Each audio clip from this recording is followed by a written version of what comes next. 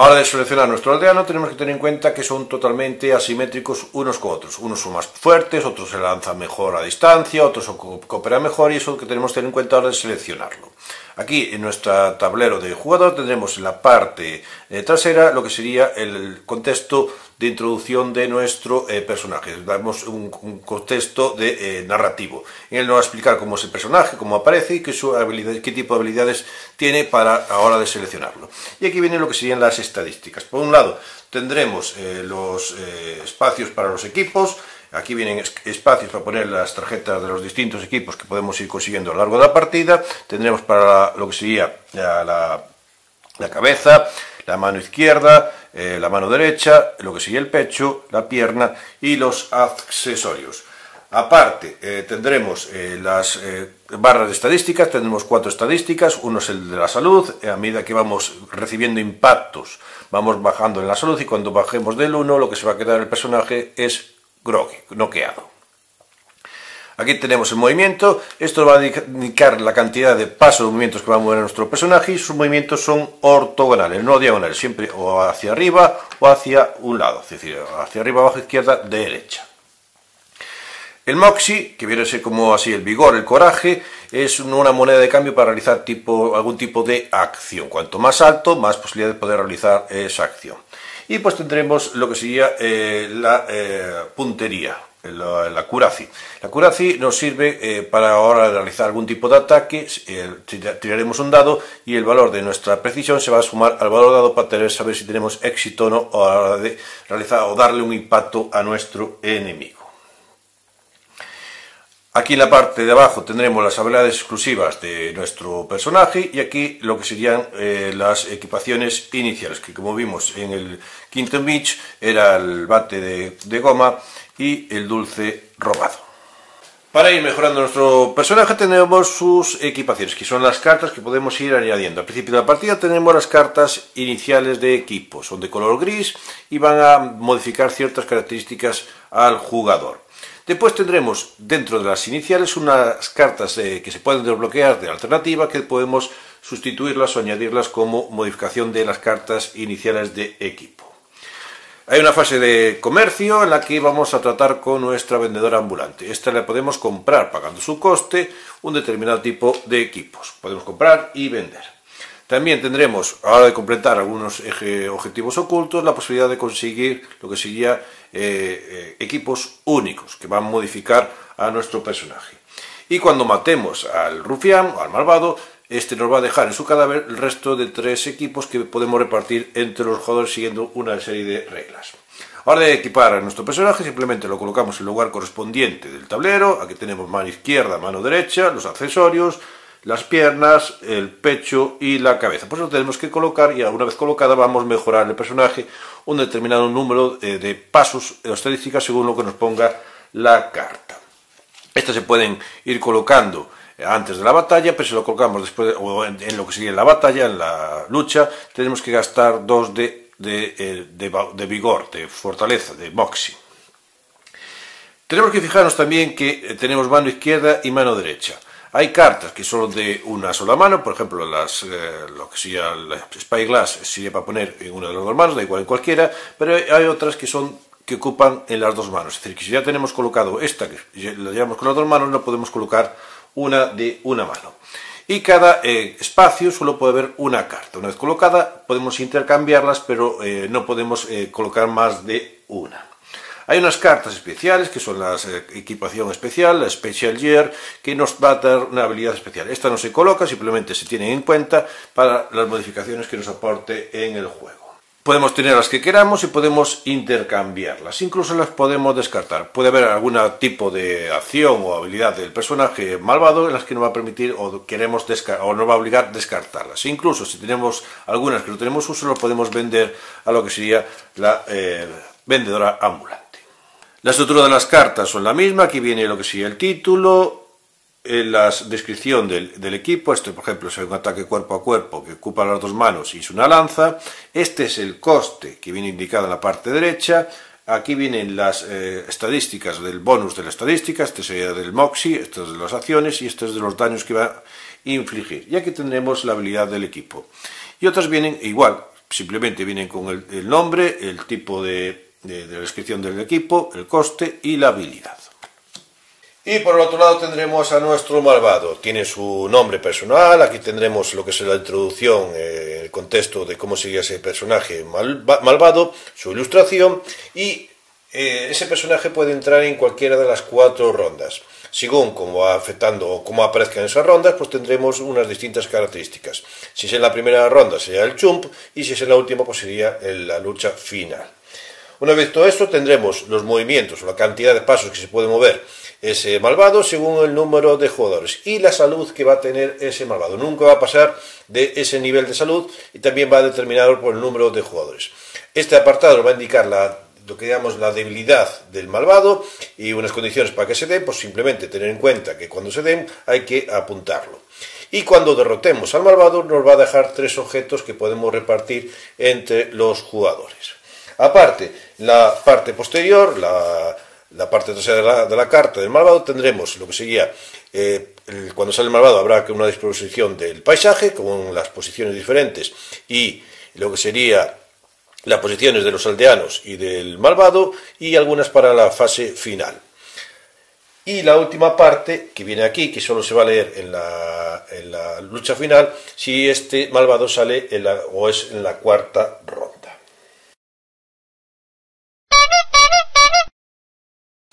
Lo primero que hacemos es colocar el tablero en el centro de la mesa.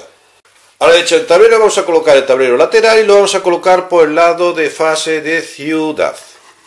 Dejamos la caja de componentes al lado como reserva y nos aconseja dejar a fácil alcance las cartas de eventos de ciudad, las cartas de equipación de vendedor ambulante y las cartas de hazaña.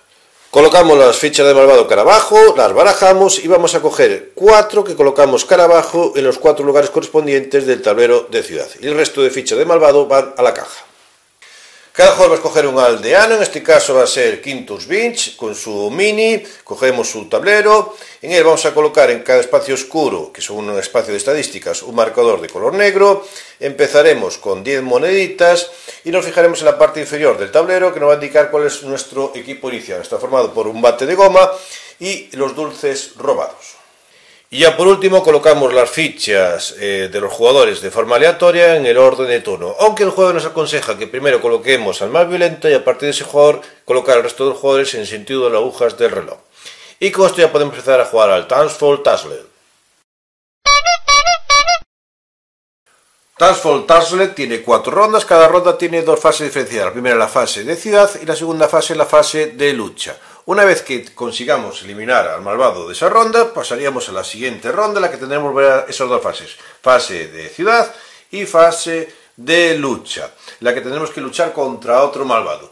Si eliminamos ese malvado, pasaríamos a la ronda 3, en la que tendremos otra vez la fase de ciudad y la fase de lucha, en la que lucharemos contra otro malvado. Y una vez acabado con el tercer malvado, si llegamos, llegaremos a la cuarta ronda, en la que tendremos una fase de ciudad y una fase de lucha final por ser la última. En la fase de ciudad está dividido en cuatro partes. En la primera parte cada jugador va a recibir tres cartas de logro. Después cada aldeano va a resolver una carta de evento de ciudad. A continuación negociaremos con la vendedora ambulante. Y por último equipamos a nuestro aldeano. Con esto acabamos la fase de ciudad y empezaría la fase de lucha. En la fase de lucha, lo primero que hacemos es dar la vuelta al tablero poniendo por la fase de lucha, descubramos al malvado correspondiente, del malvado vamos a coger su mini, su tablero de malvado y su mazo de cartas de malvado.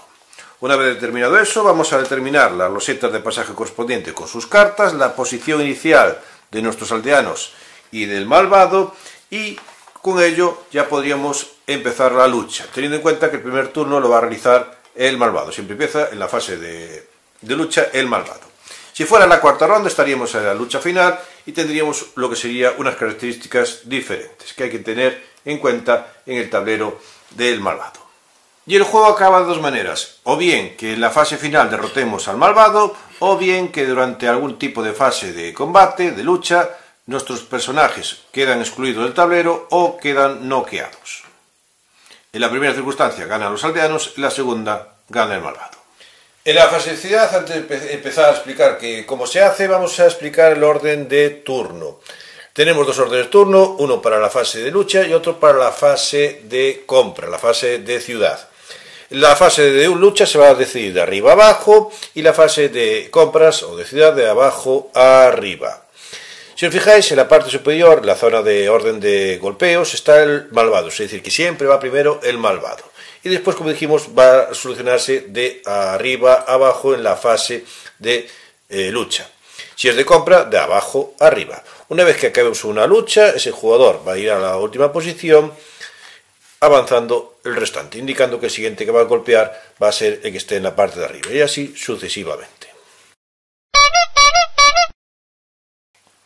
En la fase de ciudad de la primera ronda, cada jugador va a coger del mazo de hazaña tres cartas de hazaña.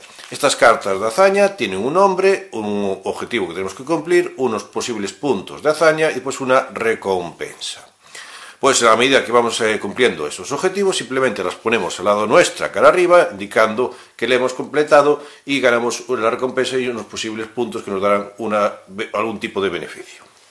Pues cuando nos vuelva a tocar otra fase de ciudad, es decir, en la siguiente ronda, porque solo habrá cuatro fases de ciudad, pues eh, aquellas cartas que no queramos eh, mantener porque no vamos a cumplir el objetivo, porque no queremos, simplemente las descartaríamos y vamos a llenar nuestra mano hasta tres, teniendo en cuenta que las que ya hemos conseguido no se cuentan. Es decir, he descartado una, me queda una, pues llenaría mi mano cogiendo dos cartas y así tendría tres cartas de hazaña. Al finalización de cada fase final, es decir, cuando matamos el enemigo, aquel jugador que tenga más cartas de hazaña y que no sea noqueado en esa fase final de lucha, o mejor dicho, en esa fase de, lucha, pues va a conseguir uno de los objetos que deje el malvado.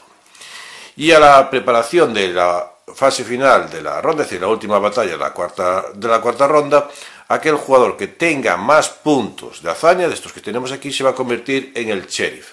El sheriff va a tener un objeto especial para el combate, pero no puede morir en ese combate, porque si no, perderíamos. A continuación, cada jugador va a coger una carta de evento de ciudad y la lee en voz alta y resuelve el evento. Algunas cartas de evento de ciudad vienen con una banda roja que pone secreto. Eso quiere decir que en vez de eh, leer el texto y ejecutarlo, la deja al lado suya. Y cuando se cumpla el objetivo para poder anunciar lo que sería la carta de evento, pues lo anunciaría. Puede darse caso que el jugador quede bloqueado o noqueado y aún así poder ejecutar la carta de evento. Iremos a la zona de la vendedora ambulante y sacaremos del mazo de vendedora ambulante 10 cartitas y las colocaremos para zona de mercado.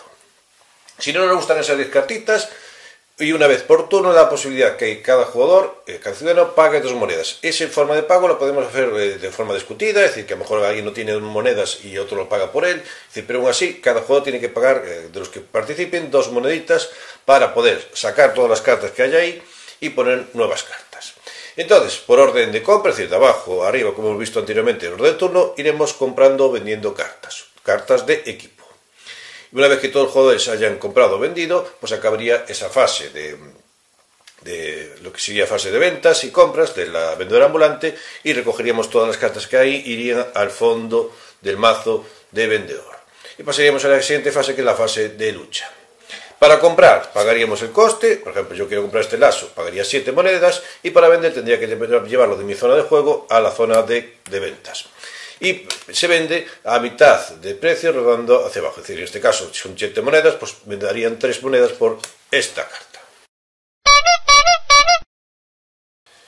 En la fase de lucha, lo primero que hacemos es dar la vuelta al tablero lateral y ponerlo por la fase de lucha, de la fase de ciudad a la fase de lucha. Iremos a la zona del mapa de villanos y miraremos cuál nos corresponde. En este caso ya hemos matado al primero, tocaría el segundo que es Hansi. Y esa ficha de malvado lo vamos a colocar en la parte de arriba del orden de golpeo, que siempre va a ser el primero en golpear. Colocamos el tablero de Hansi en la zona correspondiente y abajo vamos a colocar, después de barajarlo, el mazo de cartas del malvado, en este caso de Hansi. Y una vez hecho eso, vamos a dar la vuelta al tablero del malvado para ver cómo se colocan tanto los ciudadanos o aldeanos como el malvado como la loseta de paisaje. Aquí tenemos dada la vuelta la tarjeta de Hansi y simplemente seguir las coordenadas que vienen indicadas en letras y números para colocar las distintas losetas de paisaje. Y una vez hecho eso, hay que colocar los eh, aldeanos y el malvado. Se van a colocar por orden de golpeo, de arriba a abajo. Y el aldeano que le corresponde, en este caso sería Quintus Vinch tendrá que escoger uno de los espacios que viene marcado con una T. Por ejemplo, se va a colocar aquí.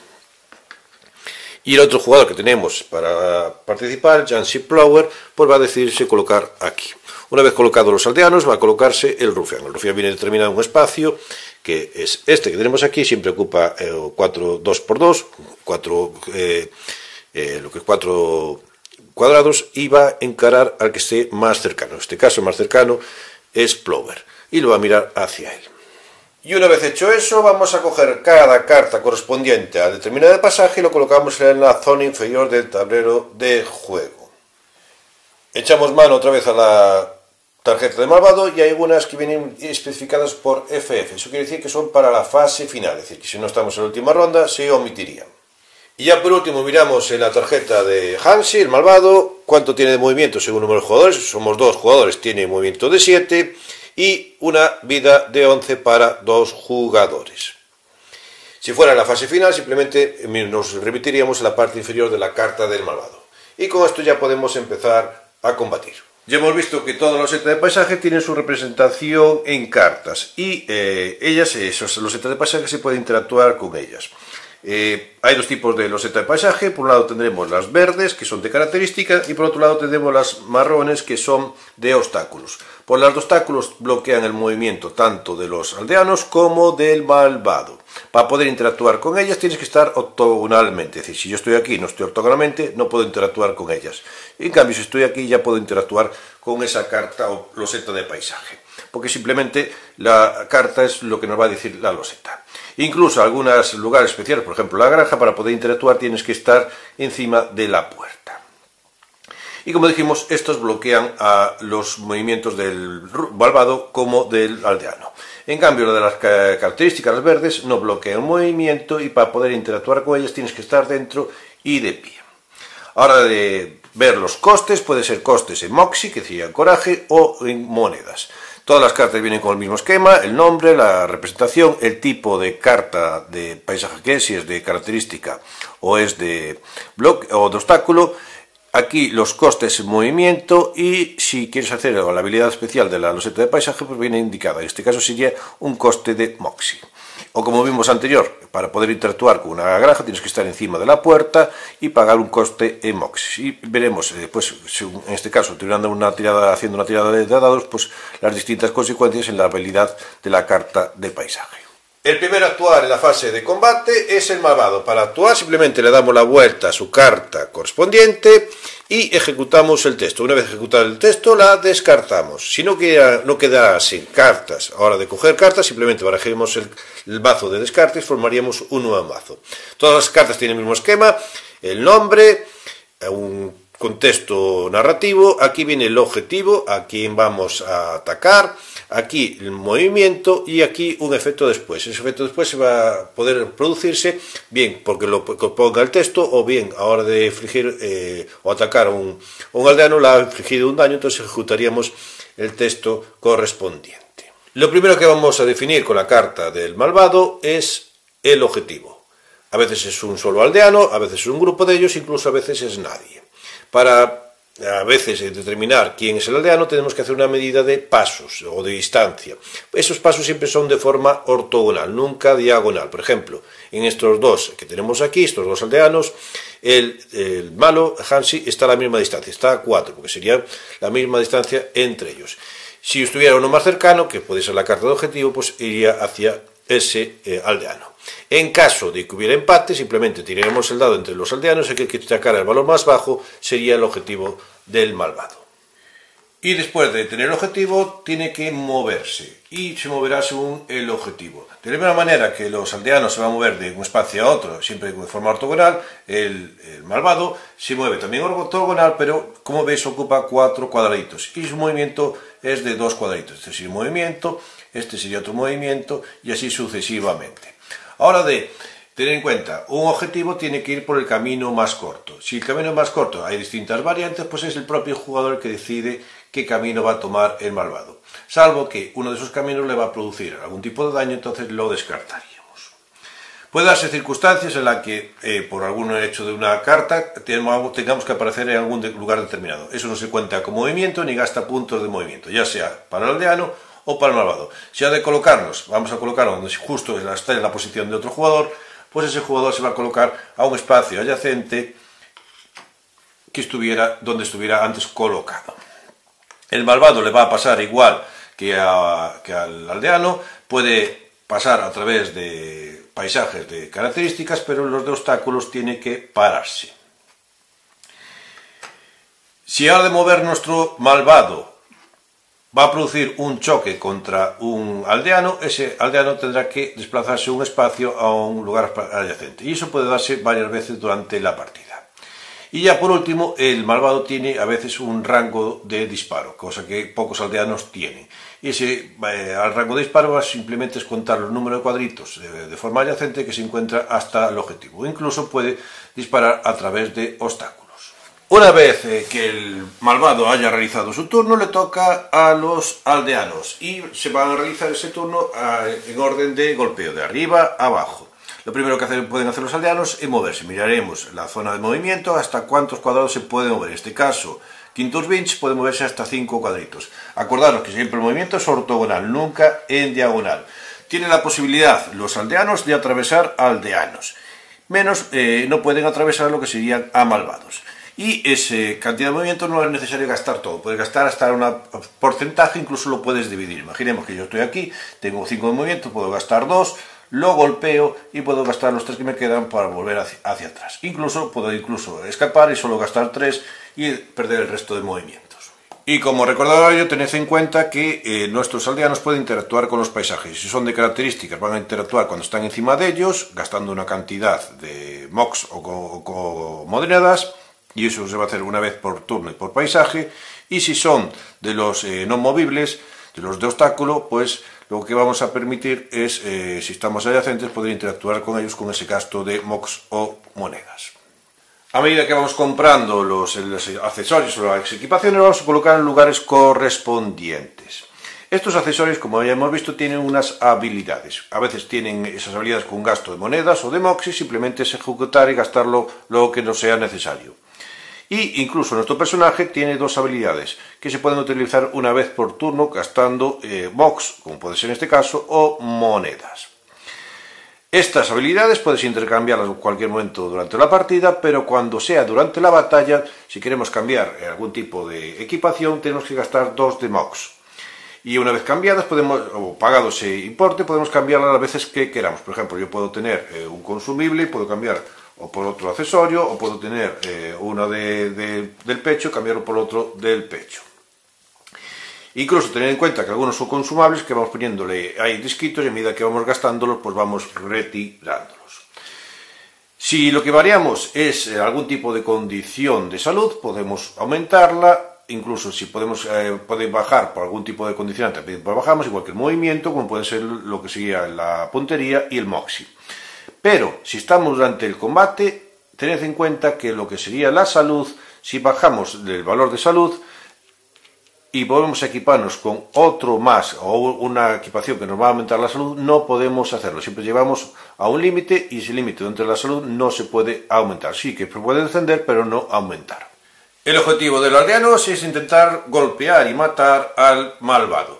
Para ello tendremos que utilizar nuestras equipaciones y nuestras armas para poder hacerle daño. El funcionamiento es el mismo, simplemente tener en cuenta que si utilizas eh, una arma de melee, que sería de cuerpo a cuerpo, tenemos que estar adyacentes al malvado. Y si utilizamos una eh, arma de rango, por ejemplo este es de rango 1, tenemos que estar a esa distancia para poder utilizar nuestra arma. Y pues el mecanismo siempre es el mismo. Es tirar un dado, y ese valor de dado vamos a sumarle el valor de nuestra precisión, es decir, el valor que tengamos en la tabla. Si el resultado es igual o superior al que tenemos aquí, pues le vamos a dar una cantidad de daños. Imaginemos que si yo utilizo esta arma, el palo de fuego, y le a una melee que estuviera aquí pegadito, pagaría el coste, que son 2 de Moxie, tiraría el dado, tengo 4, más un valor de 0 de puntería, sería 4, hecho éxito, porque tiene 4 o más, y le daría 2 de daño. Puede darse caso que a hora de tirar el dado nos salga el valor de hit, de daño crítico, que es el de la admiración, que sería como un 10. Eso de forma inmediata le vamos a dar un, un daño y aparte después volvemos a tirar el dado y echaremos mano a las reglas y miraremos con el resultado del dado lo que nos va a suceder.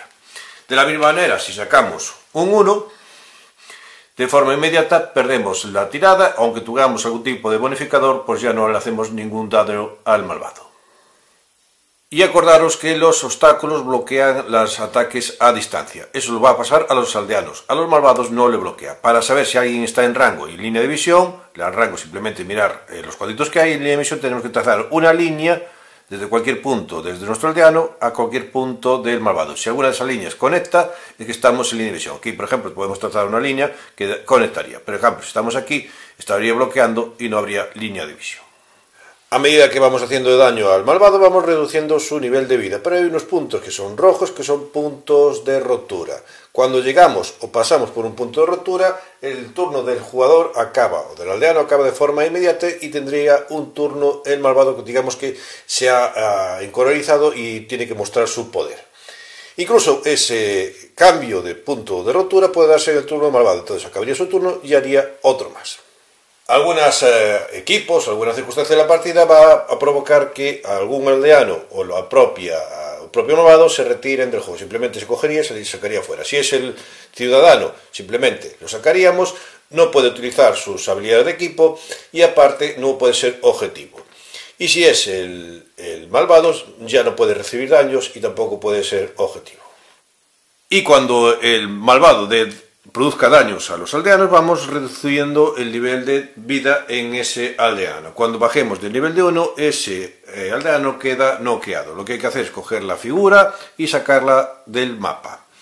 Si el malvado es noqueado, tiene la opción de ganar monedas, pero no tiene ninguna opción de ganar algún tipo de objeto que deje el malvado a ser eh, eliminado, aunque tenga la mayor cantidad de puntos de hazaña.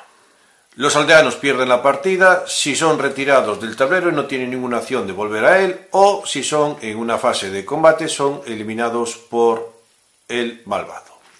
Y cuando bajemos de nivel de 1 de vida al malvado, a base de golpes, pues lo hemos derrotado y se van a producir una serie de pasos.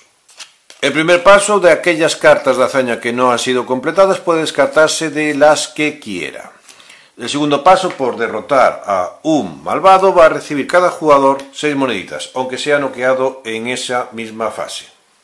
En la parte inferior de la tarjeta del malvado tenemos los tres objetos que dejan ser derrotados. Pues miraremos entre los jugadores que todavía no han sido noqueados que tenga más cartas de hazaña conseguidas o logradas no se va a tener en cuenta el punto, sino la cantidad de cartas. Pues aquí el jugador va a poder escoger uno de estos tres objetos de forma aleatoria. Si hubiera empate entre los jugadores que tengan más cartas de hazaña, pues se tira un dado y que el jugador que tenga la tirada más alta es el que recibe de forma aleatoria esa mejora de parte del malvado. Se devuelven las cartas de evento de ciudad y terreno a la reserva general, se restauran las estadísticas de cada personaje y solo quedan habilitadas aquellas que te proporcionan las equipaciones. El jugador que esté en la parte superior de la zona de golpeo se va a la parte inferior, rotando el orden de turno. Y por último le damos la vuelta al tablero lateral y lo ponemos por lado de fase de ciudad. Y llegando a la cuarta ronda sería la fase final, es el último combate, el combate eh, final. En ella tendremos que dar la vuelta a la carta del malvado y nos trae una serie de referencias. Primero tiene un contexto narrativo que tenemos que tener en cuenta, eh, una, una preparación especial y lo primero que vamos a determinar es el sheriff. Se mirará a aquellos jugadores que tengan mayor cantidad de puntos de hazaña. Pues aquel jugador que tenga más puntos de hazaña será el nuevo sheriff. Y ese nuevo sheriff le va a otorgar un objeto único que puede equipar. En caso de empate entre varios jugadores, pues entre esos empatados los jugadores pueden decidir a quién le van a dar el título de sheriff. Y si no hay un acuerdo, pues se tira el dado, el jugador que haga la tirada más alta, pues será el nuevo sheriff. Después habrá una nueva preparación de paisajes, aquellos que vienen con FF o FF más un número, que se van a colocar por orden, pues se van a colocar las nuevas losetas de paisaje con sus nuevas cartas de paisaje. Habrá una habilidad especial de final de batalla para el rufián y para el malvado, incluso puede haber una habilidad especial para el ciudadano. Tenemos unas eh, habilidades de, terreno, Aquí nos vienen las condiciones de final de partida, cómo ganar y los resultados. Ya tres tipos de resultados. Si lo derrotamos, si conseguimos el objetivo o si perdemos. Y eso nos va a remitir a mirar una página en el, un determinado apartado de una página de las reglas. Pues mirando el resultado que no tenemos, pues miraremos en la página correspondiente el número que nos da ese resultado y leeremos el texto y sacaremos las conclusiones. Esto ha sido Transfold Tasler.